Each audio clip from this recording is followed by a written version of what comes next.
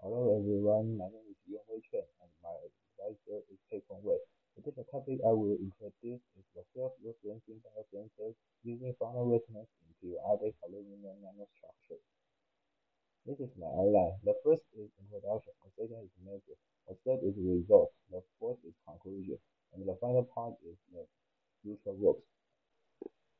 The surface plasmon resonance expected and the metal dilation dielectric interface is to the surface reflected changes.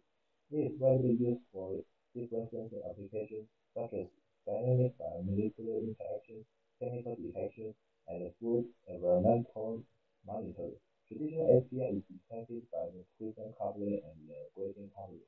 The SPR signal we get from the two methods is including the specific and the non-specific signals.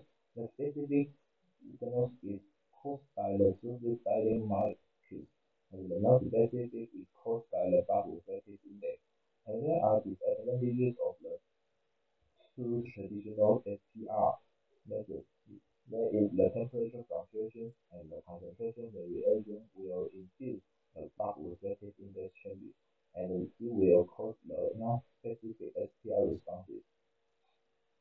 And to remove the non-specific SPR responses, we have developed the self-referencing SPR sensors. This is based on the interpretation of the dual SPR modes in the same system. The basic concept of the dual mode self-referencing SPR enablement is to generate different evidence sets of the exciting modes encoding the reflected index changes. We can see the figure 1. This is the calculated spectra of the the gold and aluminum can nanofluid array, and the parameter is the same. A symmetrical bioluminescence profiles are observed in the gold and aluminum coated metal structures. The wavelength sensitivities for the bubble resistive index are similar at both peak and dip wavelengths, but their surface refractive index sensitivities are quite different. You can see the figure 2. This is the illustration of the mode sensor of the capped aluminum nanofluid array. And we can see that the peak and dip have the different luminescence depth, so the surface refractive index sensitivity is not the same. In this work, we experimentally compare the luminescence depth in the peak and dip wavelength of aluminum capped metal slit structure with that of the gold capped metal structure. And the next part is measured. The aluminum and gold metal slit structure we usually experiment in the period 470 nanometers. The figure 1 shows the SEM image of the metal slit array. The figure 2 shows the the figure 2 shows the layout of the slit capped arrays. Nano slit arrays were fabricated using plastic nano imprint technology. The structure was a polycarbonate film. The mold was a nickel film with periodic nano slit on the. The pattern of the mold was transferred to the PC film by heating the mold over the gas transition temperature of the PC film with a uniform pressure of 5 kg per cm squared. After cooling, the PC film with the nanostructured surface was easily separated from the mold. The PC film was then coated with a 45 nanometer aluminum film. And for the analysis, we developed the image-based spectral system and show you the figure 1. The system consists of a collimator, a collecting lens, a 20 micrometer wide entrance slit, and a concave grating. The two-dimensional concave grating is used for simultaneously focusing and diverting the light from the entrance slit to the CCD camera. The concave grating made the spectral image system simple and compact in the optical setup. The spectral resolution of this image-based system was 0.1 nanometer and can be enhanced by using the polynomial curve of the peak and dip wavelength profiles.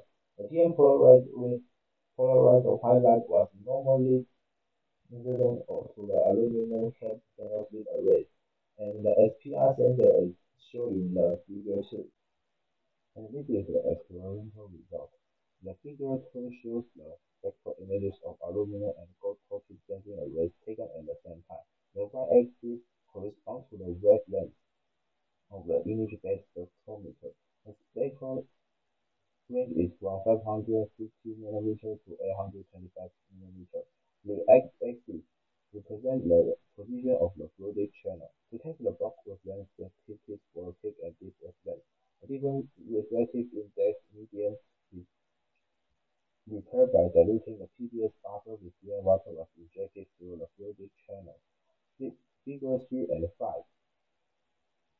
shows 3 and 5 shows spectral taken from the CCD image in the fluidic channel on the aluminum coated sensor and the gold coated sensor. As we can see in the figure 3, the aluminum coated sensor has a clear peak and deep, deep wavelength, and but the gold coated sensor does not show a clear peak and deep.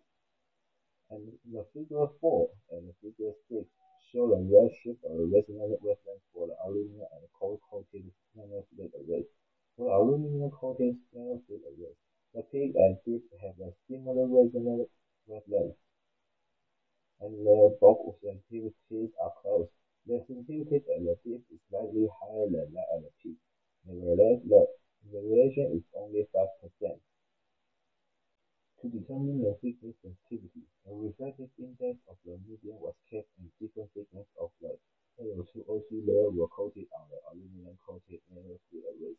The figure 2 shows the major transmission spectra for the AL2O3 coated film with the thickness ranging from 0 to 30 nanometers. We use atomic deposition to grade different thickness of the AL2O3 layer. Obviously, the deep wavelength has an obviously redshift, and the peak wavelength only shows a slight redshift under the same surface coating. The calculated spectra are quite consistent with the measured spectra. Both the experimental and the theoretical results confirm that the dip has a higher thickness sensitivity than that at the peak wavelength.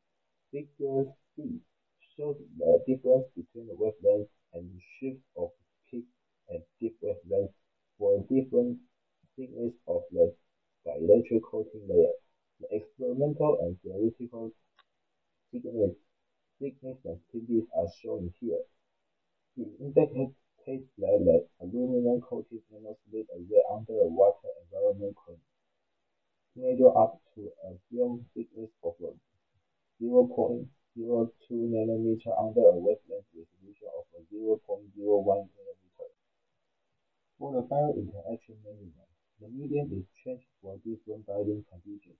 Not only the bilayer but also the bulk refractive index will reduce the redshift of the resonance. Using only the deep or peak wavelength, the bulk refractive index cannot be excluded. A rare change in the bilayer thickness can be obtained by using changes in both the peak and deep wavelengths. Figure 1 Figure 1 shows the transmission spectra of the chip under the different surface conditions. Distilled water PBS buffer, BSA coating, and and the different concentration of anti-BSA interacting with the antigen. As seen in the figure, the bulk refractive index causes shift for peak and deep wavelength. For the antibody antigen interaction, the captured antibody shows an apparent redshift apparent redshift of the deep wavelength and a slight change in the peak wavelength.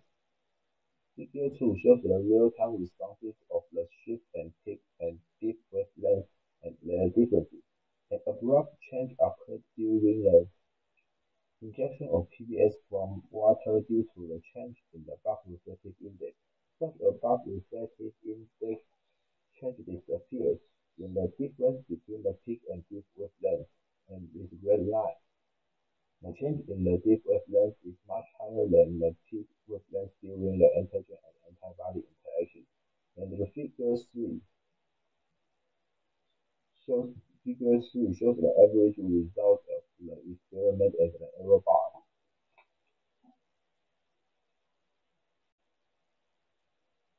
And the next part is conclusion. The conclusion is the self-referencing method, which is the major peak and deep reference at the same time, can eliminate bulk refractive index variation and the obtain thickness of the bio layer for kinetic analysis. And, and compared to the gold-coated nanostructure, aluminum film provides better asymmetrical Fano resonance. And this is my future work. The visual work is using this uh, self-referencing